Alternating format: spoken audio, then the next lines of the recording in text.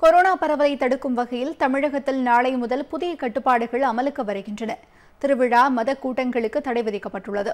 திரையரங்குகள் ஷாப்பிங் மால்கள் பெரிய கடைகளில் ஐம்பது சதவீத வாடிக்கையாளர்களை மட்டுமே அனுமதிக்க வேண்டும் என்றும் அறிவிக்கப்பட்டுள்ளது. வெளிநாடுகள் மற்றும் வெளிமாநிலங்களிலிருந்து தமிழகம் வர இ பதிவு கட்டாயமாக்கப்பட்டுள்ளது.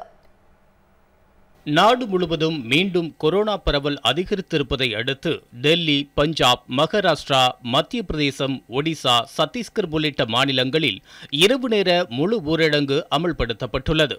தமிழகத்திலும் கொரோனா பரவல் அதிகரித்து வருவதை அடுத்து வருகின்ற பத்தாம் தேதி முதல் முப்பதாம் தேதி வரை புதிய கட்டுப்பாடுகளை தமிழக அரசு அறிவித்துள்ளது.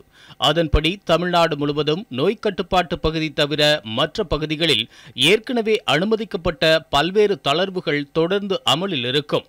மத்திய உள்துறை அமைச்சகத்தால் அனுமதிக்கப்பட்ட வழித்தடங்களை தவிர சர்வதேச விமான போக்குவரத்திற்கான தடை தொடரும்.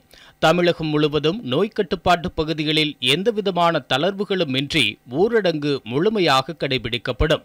திருவிழாக்கள் மற்றும் மதம் சார்ந்த கூட்டங்களுக்கு வரும் பத்தாம் தேதி முதல் தடை விதிக்கப்படுகின்றது.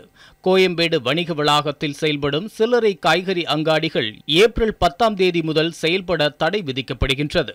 அதேபோன்று மாவட்டங்களில் உள்ள மொத்த வியாபார காய்கனி வளாகங்களில் சில்லறை வியாபார கடைகளுக்கு தடை விதிக்கப்படுகின்றது. மேலும் தொழிற்சாலைகள் வணிக வளாகங்கள் தனியார் நிறுவனங்கள் அலுவலகங்கள் மற்றும் உணவு விடுதிகளில் பணிபுரியும் பணியாளர்கள் அலுவலர்கள் மற்றும் பொதுமக்களின் உடல் வெப்பநிலை பரிசோதனை செய்யப்படுவதையும் கை சுத்தகரிப்பான் உபயோகப்படுத்துவதையும் முகக்கவசம் அணிவதையும் சம்பந்தப்பட்ட நிறுவனங்கள் உறுதி செய்ய வேண்டும். வெளி மாநிலங்கள் மாவட்டங்களுக்கு இடையிலான அரசு பொது மற்றும் தனியார் பேருந்து மற்றும் சென்னையில் இயக்கப்படும் மாநகர பேருந்துகளில் பயணிகள் நின்று கொண்டு பயணிக்க அனுமதி இல்லை என்றும் தமிழக அரசு தெரிவித்துள்ளது. கடைகள் வணிக வளாகங்கள் உணவகங்கள் மற்றும் தேநீர் கடைகள் இரவு பதினோரு மணி வரை ஐம்பது சதவீத வாடிக்கையாளர்களுடன் செயல்பட அனுமதி அளிக்கப்பட்டுள்ளது. கேளிக்கை விடுதிகள் பொழுதுபோக்கு பூங்காக்கள் பெரிய அரங்குகள் உயிரியல் பூங்காக்கள் அருங்காட்சியகங்கள் போன்ற பொதுமக்கள் கூடும் இடங்கள் ஐம்பது விழுக்காடு வாடிக்கையாளர்களுடன் செயல்பட அனுமதி அளிக்கப்பட்டுள்ளது. திரையரங்குகளில் ஐம்பது சதவீத இரு இருக்கைகள் மட்டுமே பயன்படுத்த அனுமதி வழங்கப்பட்டுள்ளது. உள் அரங்கங்களில் அதிகபட்சமாக இருநூறு நபர்கள் மட்டும் பங்கேற்கும் வண்ணம் சமுதாயம் அரசியல் கல்வி பொழுதுபோக்கு விளையாட்டு கலாச்சார நிகழ்வுகள் மற்றும் விழாக்களுக்கு தமிழக அரசு அனுமதி வழங்கியுள்ளது.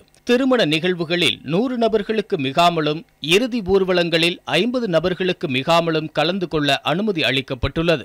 விளையாட்டு அரங்கங்கள் மற்றும் விளையாட்டு மைதானங்களில் பார்வையாளர்கள் இல்லாமல் போட்டிகளை நடத்தலாம் என்று தமிழக அரசு தெரிவித்துள்ளது. வாடகை மற்றும் டாக்ஸிகளில் வாகனங்களின் ஓட்டுநர் தவிர்த்து மூன்று பயணிகள் மட்டும் பயணிக்க அனுமதி என்றும் ஆட்டோக்களில் ஓட்டுநர் தவிர்த்து இரண்டு பயணிகள் மட்டும் பயணிக்க அனுமதிக்கப்படுவார்கள் என்றும் தெரிவிக்கப்பட்டுள்ளது. வெளி மாநிலங்கள் மற்றும் வெளிநாடுகளிலிருந்து வருபவர்களுக்கு இ பதிவு கட்டாயம் என்று தமிழக அரசு தெரிவித்துள்ளது.